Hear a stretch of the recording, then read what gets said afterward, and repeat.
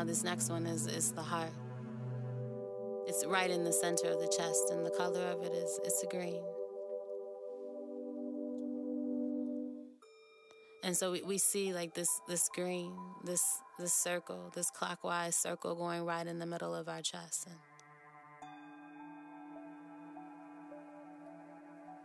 this one right here is tricky for most.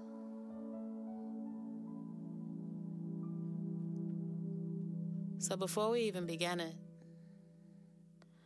place your left hand or your right across your heart, or your arm, or your bag, or whatever you have close to you. Close your eyes and not your lips. Deep breath, bring it in. Exhale, let it go.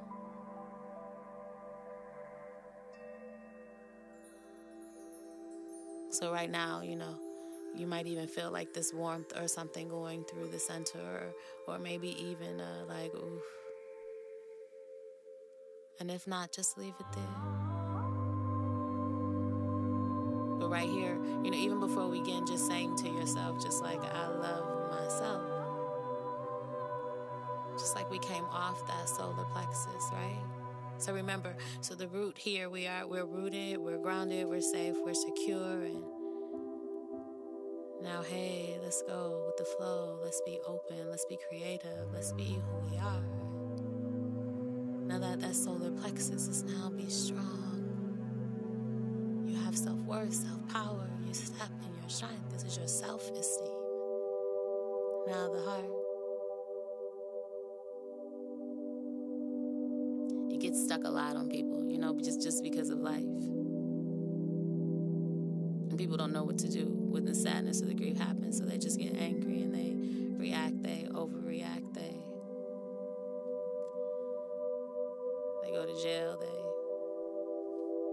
they get arrested, they don't make it back home.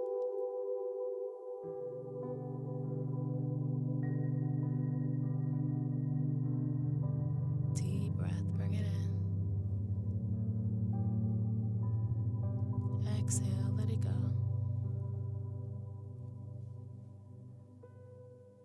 This heart chakra alone, like it fucks a lot of people up. They stay in, in situations in life and relationships that they shouldn't.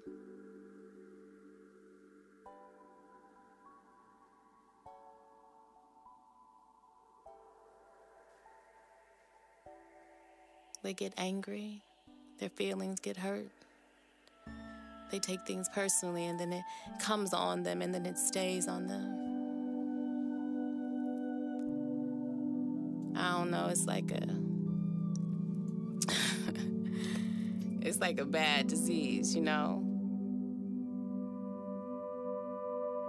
Now, the part that you feel like you can see is the part where if you were to have an ailment and you took something, you could feel that it was easing its way off of you. But when it's just different energy, forces, or fields inside of you, you may not know that it's blocked right there. And you just don't even have the tools to know how to release it. And when it's blocked, it stays festered. So we've got to dig down deep into the heart and pull out these old aches and these old pains and these old hurts and these old sadnesses and these old griefs and these old disappointments and etc. and yada yada yada and everything else that comes with it.